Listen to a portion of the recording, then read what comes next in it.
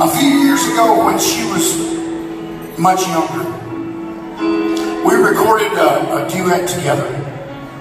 And we would like to do that duet for you now. We don't get a chance to do this very often. But since we're back home in Atlanta, we thought we'd do this for you tonight. All right? You ready to sing, girl? I'm ready. Let's sing.